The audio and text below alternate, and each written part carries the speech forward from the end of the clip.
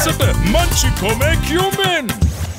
I actually thought Sri Lanka had it had it good. I thought South Africa got things wrong, and um, and I, when I was going down, I was going to do the post match. I was actually prepping for a loss, um, uh, but I was but I was kind of I was hoping that David Miller would hit. Um, I said I said he needed to hit three boundaries or two sixes. Like that's what I that's what I was thinking. He needed to hit four four four or six four four or something like that but he went six six, and then that was the end of the game. But I mean, I think from South Africa's point of view, I thought they they had they they missed the opportunity to hit boundaries in the middle overs. Um, whereas Sri Lanka, on the other hand, they just kept coming. Every new batter that came in, like within his first three balls, he almost hit a boundary. You know, he he they were either going for it or I I use the word slogging, but they were they were attempting to hit boundaries was was the difference. Whereas South Africa's guys came in, they were a little bit more tentative, and um, and that's why you saw Sri Lanka end up getting bowled out or nine down. Whereas South Africa to get over the line with with David being just good smart hitting at the end, you know. So the best thing so far is that I, I like the aggression. I like that they've got a little bit of aggression about them. Sri Lanka is not known for its fast bowlers to have like that kind of like aggression. You know, like whenever I played against Sri Lanka, there was always there was some good fast bowlers. Don't get me wrong, Malinga was amazing, but it wasn't like he was the most aggressive man in the world. It, it's nice to see a little bit of mongrel inside those bowlers. You know, um, and they're bowling 145 k's an hour, which is which is which is quick. You know, that's also good. Um, I think where they went wrong was that their lengths were just wrong. Uh, the other night when they played against Australia, they were too full, and then um, and then they bowled beautifully. And, so in the start they were too full. And then in the back end of the innings they bowled beautifully and they dragged their length back. And then against South Africa, uh, they or who was then? Oh, then then the it was switched the other way. Then at the start against South Africa, their lengths were really good, and then the back end they were too full. You know, so like kind of switched um, and that's just what that's that's experience for you you know you just like you've got to play more and more and more at the highest level. Obviously they are playing at the highest level but you just got to play more frequently you know? So like i think like the the sri lankan premier league the lanka premier league that kind of stuff um, more 2020s uh, just to become accustomed to situations finding yourself in situations then you can get yourself out of it. But I like the I like the way that uh, Kumara go about it. Chameera is more like round arm. He can swing it. Kumara is like hit the deck. Um, he'll be he'll be a really good bowler in like South Africa. You know where there's a little bit of something off the deck where you can run in and you can hit the deck hard on a good six to seven meter length and, and find the the edge whether you don't know whether to go back or full. So yeah, it, it's good. I, I felt really bad for him though. You know, like just running into a guy like David Miller in the last over is, is never going to be easy. I have, yeah, I've very early stages. Um, I was impressed with some of the batters that I saw last year in the Sri Lankan Premier League, the Lanka Premier League. I mean, the local talent was amazing. And to be entirely honest with you, I would love to go back. Like, it's a pity that I've retired because I would have loved to have played another Sri Lankan Premier League because I, I just thought that the players were so humble. Um, none of them were were like none of them were big headed in a sense that and don't get me wrong i'm not saying that other tournaments there are people that are big headed i just found that they were so humble everyone was just happy. They were all in the all in the same kind of same mind space. But there was so much talent. I i, I wasn't there for very long but i loved it. Um, and ideally i wouldn't mind to go back to commentate or even go back to work with one or two of the teams because i love being on the field. I actually love being on the field. I feel very uncomfortable being in a in a collared shirt and, and trousers and shoes on a, on a cricket field. It just doesn't feel right to me, especially not right now. I still want to be in my shorts and running shoes and running around and doing things. Um, but yeah, uh, Perera, you know, after the knock that he played against South Africa in that test match in Durban, he caught my eye immediately. He he's he was great. He was my captain uh, at Kandy Tuskers. Um, Asalanka looks like he's come out and he just looks so good. You know, he just looks he looks unbelievable. But um, yeah, I think a lot of talent. I, I, wouldn't mind spending some time in Sri Lanka to just to watch them because they're just guys are good. You just keep coming up with good cricket players. You know, they just got to consistently stay there, like your Sangas and your Mahelas uh, and your Malingas for two or three years to be able to win you more regular tournaments and stuff like that. Probably Anrich Nortje. I think if if he can if he can um, do one or two little things with his action, he could actually look like me. but I think he's a. I think what he does, he's. I think his thought process is what I'm trying to say. Don't look at him as a bowler. I think his thought process is what I my thought processes were which which is what I love to see. I don't look at his action and his style and what he looks like and say, "Oh, he looks like me." I like what's going on in his head, and then his execution is just very similar to the way that I do my things. He's, we're about roughly the same height, bowl really quickly, and um, looking to skid the ball under the bat, through the bat. You know, when I say through the bat, I mean beat you for pace, so past the bat before the bat gets there, skid under the bat, nice and low, good bouncer, and then one or two change ups, keeping it very simple. Um, but bowling absolutely gun barrel straight. That's the most key thing. You'll see with Anrich Nortje, you won't bowl many wide balls outside on the off stump because his action allows him to run gun barrel straight. His head is always forcing him down the wicket. It's never dragging him to cover, which means that he's always attacking the stumps. If he bowls a wide, it's more going to be down the leg side because it's gone, it's gone with the arm to a right-hander. I'm, I'm talking about. So yeah, probably Anrich Nortje. Yeah, have you ever watched? Have you watched Happy Gilmore before? Not really. Have you never watched Happy Gilmore before? Okay, if you ever have the opportunity, watch Happy Gilmore. It's one of the best sport movies ever. Comedy movie. It's about a guy who plays ice hockey, who's got a bad temper, who ends up playing golf. And he's really good at golf. He ends up winning like golf tournaments and stuff like that. And even when he's winning golf tournaments, they always ask him, they always say to him, What about your golfing career? And he says, I'm a hockey player. I'm just playing golf so that I can make money so that I can play golf, play hockey again. And I feel much the same. I'm a cricketer that's currently just doing commentary. I'm not a commentator. so, no, but it's it's um, it's it's fun. I mean, I'm enjoying it. It's nice to it's nice to see things from a different perspective, and I've always kind of felt like I've been pretty neutral with the way of viewing the game. So when I was talking, when I was commentating and talking of the Sri Lanka and South Africa game, I didn't really care who won the game. I wanted the best team to win. I mean, ideally, I would like it that South Africa goes on to win because I'm South African and I would love them to win a World Cup. But when I'm talking about the game, I don't see that I have to talk up one team more than I have to talk up the other team. I actually really enjoy all the cricket teams, every single cricket team that's here. I've got friends in, and I hope that they do all really well. So I, I, I kind of like it. I like being able to have a good, um, objective opinion about what I'm seeing. And hopefully, you know, the players and my friends and stuff that are playing, they will understand from where it's coming from. So that's that's quite nice. So yeah, I'm, it's fun. I'm just happy. I think I'm I'm happy that I'm happy that he's back playing. I think a, a cricket South Africa team without Quinton de Kock is a weaker team, and um, yeah, I think the whole that whole thing has got is different to what's what's what's happening to cricket, you know, and and um, taking the knee and Black Lives Matter is not supposed to separate people; it's supposed to bring people together. So if we have to see Quinton de Kock missing cricket games, not just through his own mindset, but through a forced um, kind of way of doing things. That's not that's not what we want in world cricket. That's not what we want. That's not what we want in the world. We don't want to see people missing out on things. That's not what this movement is about. This movement is about bringing people together and uh, having a better understanding of things, not pushing people away and then ridiculing them. You know, that's not the way that this is. This is not what it's about. So when Quinny is not playing for South Africa like he was, it was a real sad time. I think, and for him too, you know, to listen to his comments about what he said, what people thought of him, was entirely not fair. I don't think that was that was very fair. Yeah, so I'm I'm happy to see that he's back on the park and that things are resolved. Where the richest offerings of nature are turned into a finer form through pure craftsmanship. And I'm not talking about the sapphire on my ring.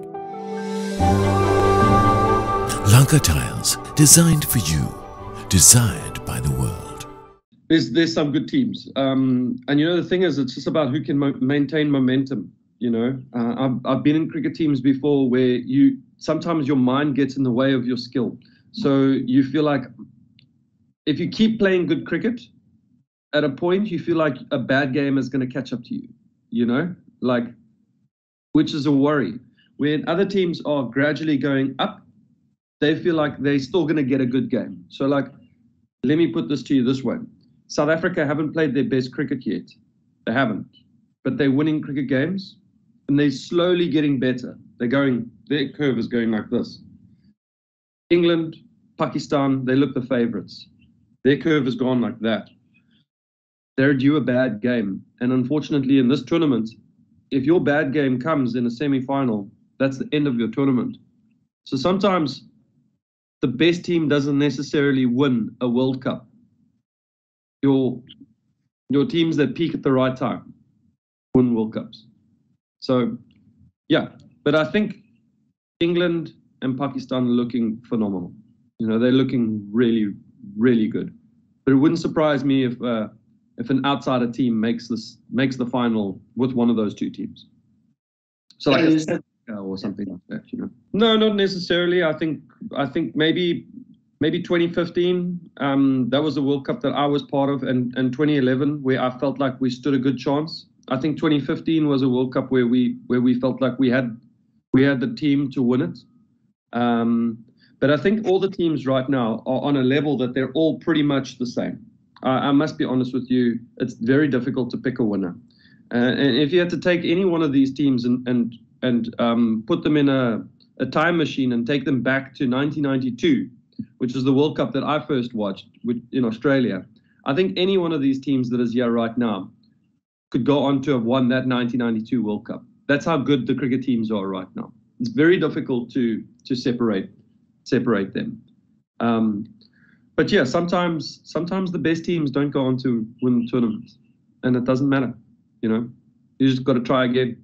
So I, I, mean, I I toured Sri Lanka before with a with the South African A side, um, and um, I loved it. I thought I think Sri Lanka's like between Sri Lanka and West Indies. I can't quite quite make up my mind which is my favorite place to tour. To be honest with you, like they're both like right there. Um, from a cricket perspective, they're both very difficult to play cricket. Like West Indies pitches, not the easiest, and Sri Lankan pitches for seamers are not the easiest at all. Um, and yeah, that place was just it was amazing because the the first Test match, um, I actually got Kumar Sangakkara out. Uh, I bowled him off a no ball, and I had him dropped at point maybe two balls earlier, and uh, you know Sanga went on to make 300 or 270 or something like that. And then Mahela, he just went about his business and batted for two days and made almost 400. So, yeah, it was a great learning curve. You know, like it's not the one that you want. Like you always want to like win every game and take five wickets and have the best conditions. But I mean, there's no learning from that at the end of the day if you don't have to have the like real bad stuff like that, you know. And although at the at the time I probably wasn't enjoying it, I look back on it and I and I actually thoroughly love it. Like I think it was one of the best things that could ever happen. You know, otherwise we wouldn't be sitting here talking about it. You know, it's like it's a great story to tell. It's a great experience, and there was a lot of learning from it. So I loved it. Um, but yeah, as a young fast bowler going to Sri Lanka, I just wanted to run and bowl as fast as I could, um, and maybe had the similar kind of mindset as to what some of the Sri Lankan bowlers have right now. You know uh, without the experience, just that mindset of run and bowl fast. Sometimes it works, and sometimes it doesn't. Yeah, well, I mean, sometimes you just gotta you gotta take it for what it is, you know, and just understand that everything that you were doing wasn't working, and two guys were on absolute fire. There were there was areas in the game that we were getting wrong. I think we dropped a bunch of catches. Um, and, and, we probably weren't consistent on on our lines and lengths and and, and slightly inexperienced. The whole group. Uh, I think Ashwell Prince was our captain, and I'm not saying that he wasn't a good captain. I'm just saying that that captaincy was fresh on him, and it was it was a different kind of setup and team and everything like that. but the bounce back, you, we as South Africans, we always talk about that bounce back ability, you know. And the next Test match, we almost won the next Test match. I think Sri Lanka won it by one wicket or or something like that. They literally like scraped over. So I think I got five in the second in the second Test match. So. Um, so, so we were able to learn from our mistakes and then bounce back. Yes, we lost. We lost by one wicket. It could have been two wickets, but I'm almost certain it was one. But that was enough encouragement for us to say that we'd gone to a place that was really difficult to play cricket. Yes, we got our asses kicked in the first one, but we almost won the second one. Like we should have won the second one. Um, and, and you take the learning from that. And then I think the next time we went to Sri Lanka, we won, which was which was a couple of years later. But that was it. We were just trying to learn and figure out how to play cricket in different conditions, like the subcontinent and Sri Lanka and everything like that. We just weren't playing enough. So it was great to learn, you know. And when you're coming up against guys like Murali, I mean, jeepers, like you're not expecting to win many games in Sri Lanka against Muttiah Muralitharan. So, yeah, it was a good time. Yeah, so I, I mean, I've known Sanga for years. Like I played against him, and then I was very lucky that um, one of the first times I actually really met him was that I played against him, but then he came to Warwickshire and he played some county cricket at Warwickshire, and, and I was playing for Warwickshire. I'd played against him in county cricket before when I was playing for Essex, like way back in 2004 or something like that. Um, but we we were now finally in the same team, and then somehow we kind of followed each other, and we ended up playing in the same team together for quite some time. We played in the Deccan Chargers together. We played for Sunrisers together and then we played um, in the CPL with Jamaica Tallawahs uh, together. And all throughout that entire time, I was also playing against Sri Lanka uh, on tours to Sri Lanka, or Sri Lanka was coming to South Africa, or World Cups, and and so what and so forth. Um, and I just loved him. Like he was just, I still do. He's just. He, what's not to love about Sanga? He's the he's the best man in the world. He's like the nicest guy in the world and then he's just phenomenal, like with the bat, you know. Even if he was smacking hundreds against us, I, I, didn't really care. I wanted to get him out, but he was so beautiful to watch that it was like, oh, that was amazing, you know, like that was great. So, yeah, I mean, we've we've just played against, and it's never been. We've always been good with each other. We we had fierce competition between each other, but we've never been ugly to each other or anything like that, you know. And I, I, think that's because Sanga's just the nicest guy in the world, and I love him. You know, so I wouldn't want to treat him any other way. If I was playing against him, I want to get him out. But like, he's become a friend. You know, and that's the best. I think that's the best thing about cricket is that you meet these people all around the world. So, yeah, it's awesome. He never really sledged me. I think he's very clever. He's very, very, very clever. And um, and he would he he's he's smart with his cricket brain so he would pick up little things and he would say things maybe to more irritate me than he would sledge me and I'm like, if I think about it, that's very clever. you know, like you got a point, you know? I'll step back. So uh, my my best cricketing memory or my best memory of Sri Lanka was my first tour to Sri Lanka. It was my first tour outside of South Africa. Um, it was a South African A tour, and I think we went in 2004. And I just had the best time. I we went to the mall in um, in Colombo, and it was the first time that I bought DVDs. I think they were bootleg DVDs, but we bought them anyway. Um, you know, like we, I was eating different foods for the first time. We went to the the tea um, plantation. Um, what's the Dil? Uh, what's the tea? Yeah, Dilmah tea plantation. Um, we had a we had a car accident. Our bus had a we crashed, and uh, two two police officers got badly injured. Actually, I, I, hope that they're okay today. I don't know, um, but then we had to jump into the the bus with the Sri Lankan. So we sat stranded on the side of the road for about five or six hours before the Sri Lankan bus arrived. We went to Kandy, you know, and at the hotel there was elephants cruising around the hotel. I mean, I just absolutely loved it. You know, like from the cricket perspective, I can't remember what happened. It didn't matter. You know, it was just one of the most amazing tours. And every time I went back to Sri Lanka, I just wanted to experience more of it. So going to like Galle for the first time was great. We went through the um, the Galle, what's it called? The uh, the fort. Oh, yeah. Uh, yeah, we just kind of cruised through there. Went to the little beaches that are there. I mean, it's just, I, I, it's, I love it. Like the cricket aside, we've I've won games and lost games, but like Sri Lanka is one of the most beautiful places that I've ever been. There's just so much to see and so much to do. Like I said, it's between Sri Lanka and the West Indies um, that are my two favorite favorite places to tour.